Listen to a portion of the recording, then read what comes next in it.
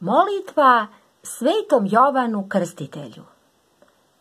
O, sveti Jovane divni krstitelju, ti preteča beše slavnom spasitelju, ti čistotom svojom ljudske duše teknu i ko strašna truba sa Jordana jeknu. Ti koga se vojske ne častivih boje, ne moj se ogluši to moljenje moje, no ukrepi mene molitvama moji, da ko sveća pravo pred gospodom stoji. Budeć ljude ocna i porokalena, kad se kira beše blizu do korena.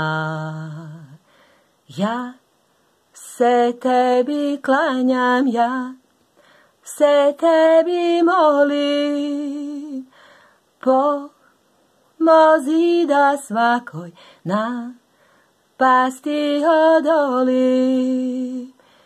Ti koga se vojske ne častivih boje, ne moj se ogluši to moljenje moje, no ukrepi mene molitvama moji, da ko sveća pravo pred gospodom stoji. Ja se tebi klanjam pro roku najjače i pred tobom kleči mi, pred tobom plače. Daj mi od tvog srca lavovske jačine, daj mi od tvog duha an gelske beline. Ti koga se vojske ne častivih boje, ne moj se ogluši to moljenje moje, no ukrepi mene molitvama moji, da ko sveća pravo pred gospodom stoji. Daj mi tvoje moći da postignem probom. Bogu bit pokorna i vladati sobom. Krstiti se postom stiti se denjem, sladiti molitvom i nebeskim zrenjem.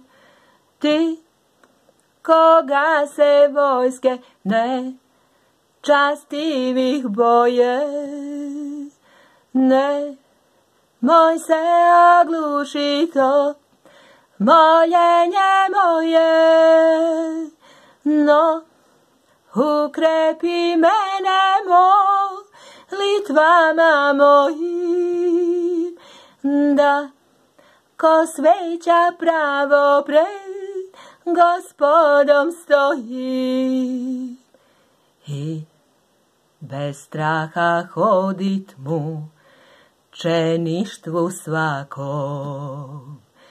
Sa hrabrošću tvojom i sa verom jako.